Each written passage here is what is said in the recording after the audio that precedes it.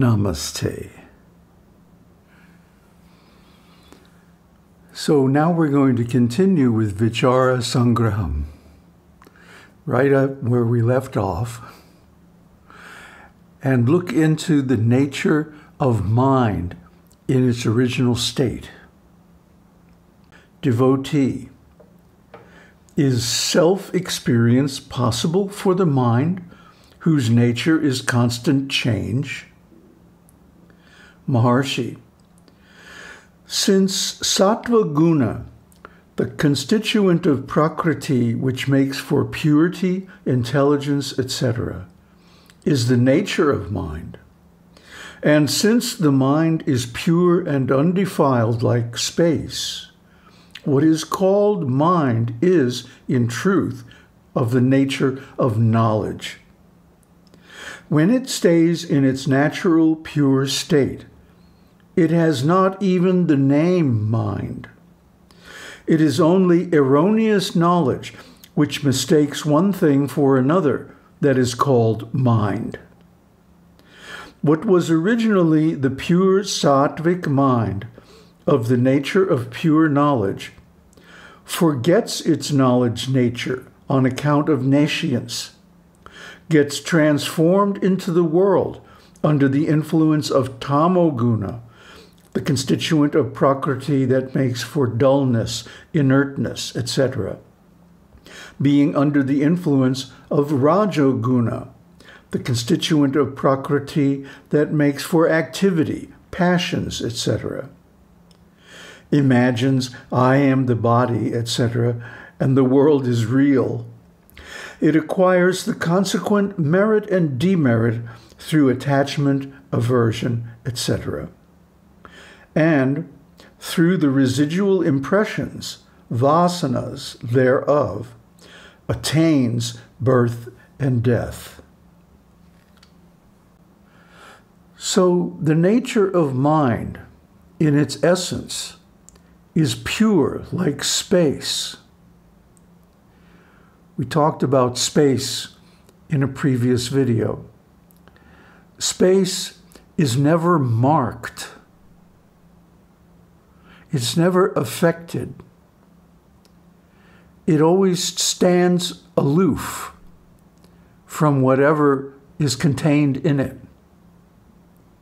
It never gets mixed up with anything. It never gets attached to anything. It's completely slippery. Space, although it's required for existence, cannot really be said to exist because it's nothing, simply emptiness. So, in the same way, mind, in its natural state, is pure knowledge. Jnana. Uh, this, and we'll see in the next part, uh, this is Turiya the fourth state of consciousness. But what happens is mind gets overcome by ignorance, tamoguna.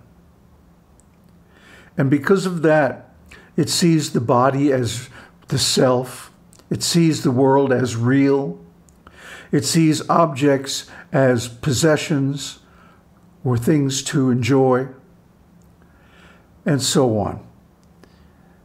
And then because of Rajoguna, the mode of passion, it tries to enjoy them. So this mind is always active, flip flopping around like a fish out of water, which it really is. It's not in its natural state. So, like a fish out of water, it flips and flops this way and that way, but it can never reach a comfortable situation because it's out of its element. And the natural element of the mind is space, akash. So, this space can be a place where things show up without judgment, without attachment, without a feeling of ownership or the urge to enjoy. Then the mind is in its pure state. Then it sees things as they really are. And this, of course, is the objective of meditation. But the mind that has got rid of its defilement, sin, through action without attachment performed in many past lives, listens to the teaching of Scripture from a true guru, reflects on its meaning, and meditates in order to gain the natural state of the mental mode of the form of the self, the form I am Brahman, which is the result of the continued contemplation of Brahman. Thus will be removed the mind's transformation into the world in the aspect of tamoguna and its roving therein in the aspect of rajoguna. When this removal takes place, the mind becomes subtle and unmoving. So, right now, for most people, the mind is attached, it's covered by passion and ignorance. See, these are the three factors attachment, aversion, and ignorance or delusion that this world is real, this body is myself, these objects are mine, and they are to be enjoyed. So when this delusion, this mental disease actually is removed, only then the mind finds peace. And this is its natural state. When the mind thinks, I am Brahman, because the mind is always Brahman in past, present, and future, has never been anything else. Because everything is Brahman. So certainly the mind is also. So when we come to this Aham Brahmasmi, I am Brahman, and we contemplate for a long time due to the merit that we gained in previous lives by many uh, unselfish acts, karma yoga, bhakti yoga. This is called Raja Yoga. And this is the Vivartavada, the view that the world is illusion. Only Brahman is real. So when we take up this view, then we have the possibility to realize the self. And the self is realized by the mind, which is completely at peace. It is only by the mind that is impure and under the influence of rajas and tamas that reality, the self, which is very subtle and unchanging, cannot be experienced. Just as a piece of fine silk cloth cannot be stitched with a crowbar, or as the details of subtle objects cannot be distinguished by the light of a lamp flame that flickers in the wind. But in the pure mind that has been rendered subtle and unmoving by the meditation described above, the self bliss, Brahman, will become manifest. As without mind there cannot be experience, it is possible for the purified mind, endowed with the extremely subtle mode, vritti, to experience the self bliss by remaining in the form of Brahman. Then, that one's self is of the nature of Brahman will be clearly experienced. This is self realization. And Ramana Maharshi, in this commentary, is telling us exactly how to attain it. The problem is, we don't want to follow his instructions. We don't want to allow the mind to settle on one thought, aham brahmasmi, uh, or any mantra will do in the beginning. We want the mind to just roam free over the objects of the world, become attached to them, and think that they are mine. Well, how can they be mine if there's no I? See, just like when Bodhidharma went to China, he met the emperor, and the emperor was very much distressed because of the mental agitation of being in charge of such a large country. He went to Bodhidharma and said, Please show me what can I do with this mind? What can I do to relieve this anxiety? And Bodhidharma, who's a very large and imposing man, said, Meet me at the temple in the morning. I will take care of your mind. now, you know, Bodhidharma had just walked over the Himalayas barefoot to get to China. So he was like a force of nature. He was really powerful.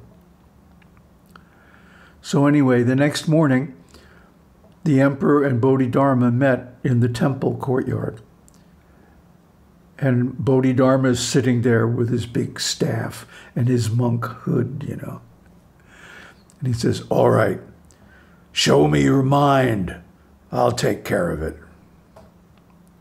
You know, Bodhidharma is really weird and scary looking with the big eyes because you know, he cut off his eyelids so he wouldn't sleep during meditation. So the emperor is there. He's searching and searching for his mind, sweating, even though it's in the mountains in the morning, cold, freezing, huh? But he can't find it. He's trying and trying. Finally, when the sun is just coming up, he gets it. And he says to Bodhidharma, There is no mind. I can't find anything. Bodhidharma says, Yes, that's the truth. There is no such thing as mind. Mind is a space, a space where things show up. That's consciousness. So consciousness is very subtle. It's not a thing. It's a space. Try to understand. And if you meditate like this, if you consider the mind to be a space of consciousness, a space of awareness, and that various things show up in it, then you won't be attached to those things.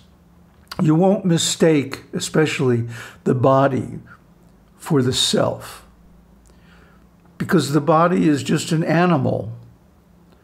It's just a biological machine. Somehow or other, we've become attached to it through karma.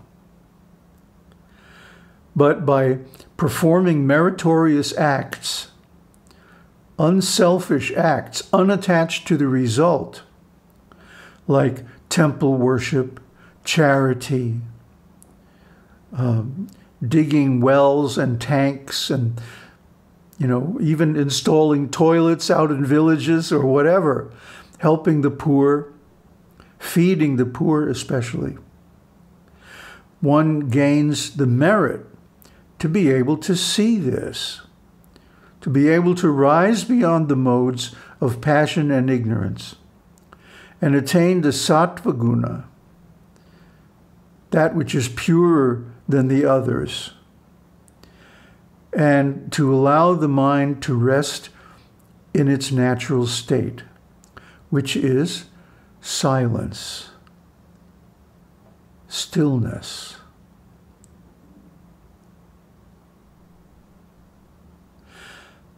And when the mind has thus been brought under control and is still, one can see that actually I am the self.